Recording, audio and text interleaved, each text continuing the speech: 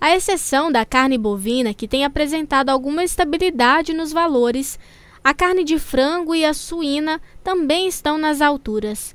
O quilo do filé de peito, por exemplo, subiu de R$ 15,82 para R$ 18,19,90. O quilo do frango resfriado, que era de R$ 9,81, subiu para R$ 10,75. Já na carne suína, encontramos o quilo do lombo na faixa de R$ 25,90.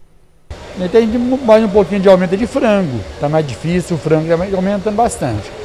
O boi está subindo, mas nem tanto. Situação que pesa no bolso do consumidor, visto que sem alteração no salário e a infração disparada, precisa recorrer aos produtos mais baratos.